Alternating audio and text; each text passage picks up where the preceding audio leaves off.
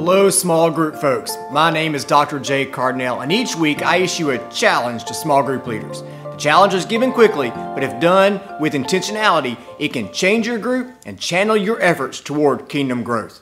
Last week I started a series called Make Room for Folks. We explored the concept of literally, physically making room for the guests that your group is expecting. Today I want to offer you a challenge to be a room with folks and focus on outreach.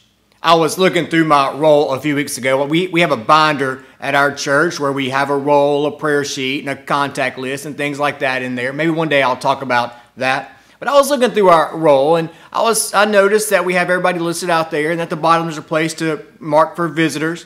And there's a place where you can write in visitors who become consistent and begin attending your group. And I noticed something that was good and something that was not so good. The good thing was I noticed that our attendance had been pretty uh, consistent. You know, I looked back over the few months and, and I noticed there's the ups and downs of, of summer holidays and, and things like that. And even deer season was able to be noticed. But I started looking and I noticed something.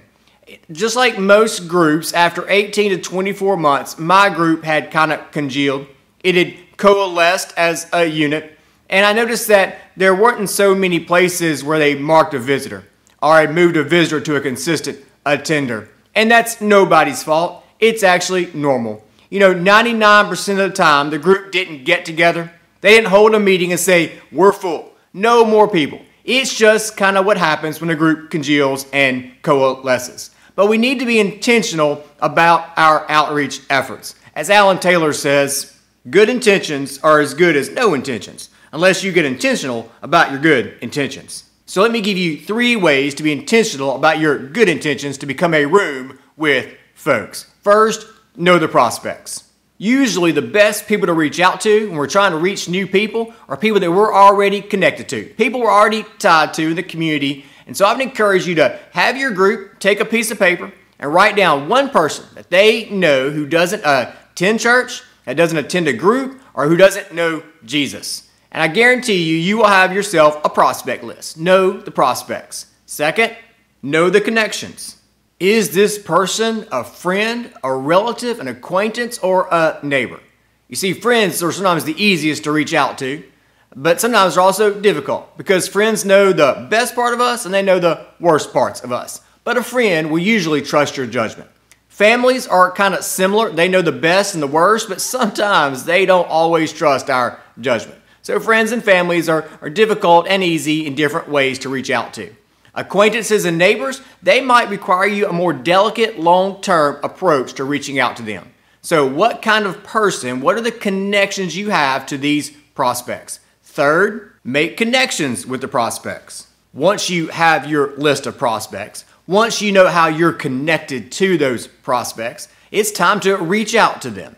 Someone who is maybe interested in church, someone who's not antagonistic to church, a friend, maybe it can be reached out to through a simple invitation. Maybe even a text sometimes can invite them to church or to your group, but reach out to these people in that way. Maybe if someone is more antagonistic, maybe they're, they're just opposed to church, they're not thinking about that type of thing at all, maybe your group can commit to pray for them long term. Just say, we're going to pray for this person every week. And so you can reach out to them simply through prayer.